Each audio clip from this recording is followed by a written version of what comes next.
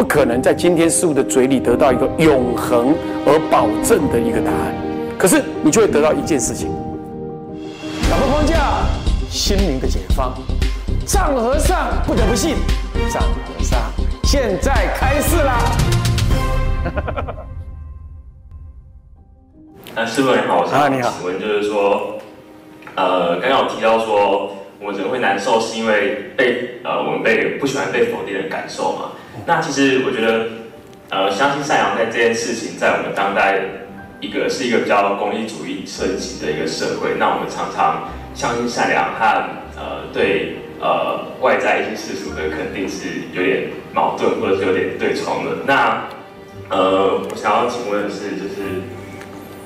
呃，有时候我们我们常常会想要相信善良，可是我们是不是有足够的智慧跟能力去鉴定说，到底什么样才是真正的善良？那刚刚师傅刚好提到，就是说，呃，有时候我们很有时候我们想要有可能就是利益众生这样子，但这样子的话，我们常常又没有办法去顾及到我们身旁那些人。那这样子的话，切入如果这样切入这样的两难的话，师傅会怎么样做一个处理？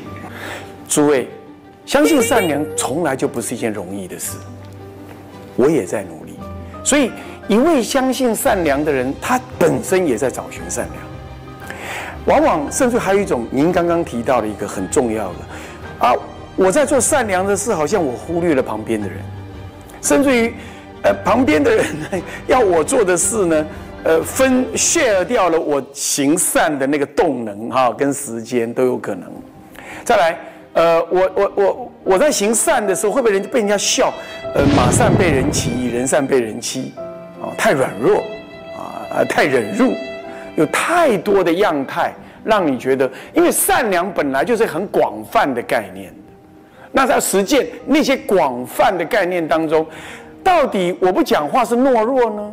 我不争取是愚痴呢？是呃是无能呢？还是我真正在让他？而让他谁了解我？所以大家刚刚讲的啊，功利主义当中，我事实上是被标定为无声无息，或者是无有能力为自己遵循呃合理价值的、那个那个沉默的人。哇，那这样的话，我在所谓的善良过程当中，我对我被社会的评价是蛮负面的。举凡这一类，我帮你衍生了这个问题。诸位，我跟你一样，我并没有比较幸运。就要超就能够超越哦。作为一个师傅，也一样会被这样认为。我们在做的很多事情，甚至还被人家否定。所以刚刚就讲到，相信自己是很重要的。我们这位同学刚刚讲到说啊，解脱啦怎样？其实还有一个，到底有没有足够的智慧来抉择那个善良？或者说我呃好吧，就算是善良，那难道这个不是善良吗？何以我要先做这个不做那个呢？这本身也是一种你生命中很重要的一个抉择。所以，当你愿意听到师父说的说像信仰善良衍生出来的问题的时候，你就会知道，你没有，你不可能在今天事物的嘴里得到一个永恒而保证的一个答案。可是你就会得到一件事情。不止的探寻善良的本质，跟你内心里头的 一种互动。注意哦，如果你这么样子的爱爱众生，你的妈妈你那干嘛不爱？你为什么去出家？很多这就是面面临善良的抉择。你说你爱众生啊，我就是众生啊，我是你娘啊，啊，我这么爱你，你去出家，让我哭得像泪人一样。这个时候你会因为这样而停止？善良吗？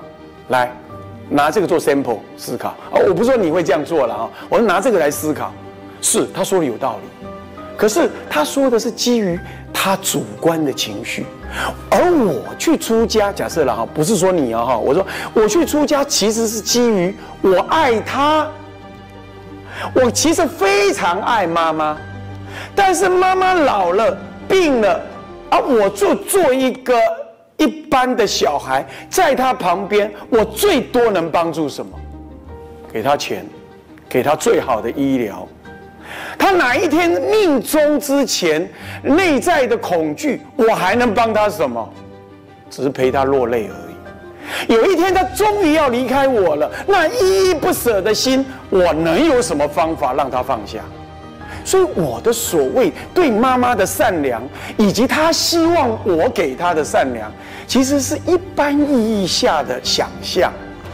当我更知道的是，如果我能够去做某一件事，在我母亲这一辈子最痛苦的时候，或者这一辈子在急难疾病，或者我们讲一个比较玄学的，她在病老的时候，突然间看到过去他所杀的那些虫啦、猪牛来跟他讨命的时候，我有办法，因为我是法师，我有办法。这第一，第二，我因为是出家人，我住在寺庙，但寺庙没有违，没有说要阻止我来看我妈，然后她生病的时候我来看她，这跟我被我被科技公司派到重阳之外去做个主管，然后我妈妈在生病的时候，我根本就没办法回来，两相比较，其实搞不好出家更是善良，而且是更符合他需要的善良。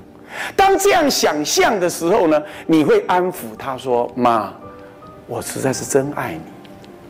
现在你不能感觉，但我跟你保证，我是基于更爱你的心，而我去走那现在你看不懂的路。同样道理，你也可以跟你女朋友、跟你的家人、跟你的老师、跟你周边最好的人说类似的话。比如说，我有个同学，他跑来我家骂我，他说。”你爸都生病成这样了，你整个暑假都不在。我打电话来，你都说你妈妈都说你去参加佛期，你这个人好不孝。我我就跟他讲，我哪不孝？我去打佛期就是要把功德，像这位居士讲的，就是把功德回向我爸，因为我爸现在卧病啊。然后他那是他那个是呃，他那个是中风啊，那能用的药就是这些而已啊。你说的孝顺，你叫的到底要叫我做什么？帮他复健。还是帮他按摩，还是背他出去外面散步？